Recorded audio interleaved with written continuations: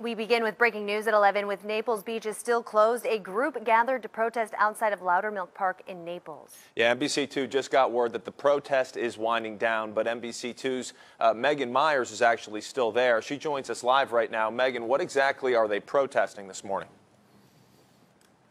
Well, Nate and Amanda, within the past couple of minutes, obviously this crowd is gone now, but a, bit earlier we were seeing dozens of people out here crowding the entrance of Lowdermilk Park Beach, and they said that they wanted full access to our beaches. Our crews even saw a few people actually pushing past those barricades and caution tape and making their way out onto the sand. As you can see, Naples Police Department is here now. They actually added a sign to this area. Clearly, they want to make it known to people that those beaches are not reopening until tomorrow tomorrow.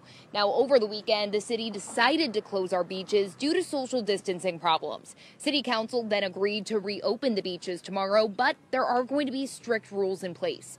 The beaches will be open Monday through Friday from sunrise to sunset.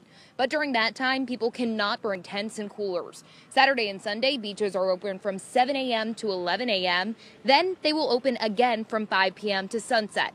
In the morning, you can't bring chairs, coolers, tents, or umbrellas.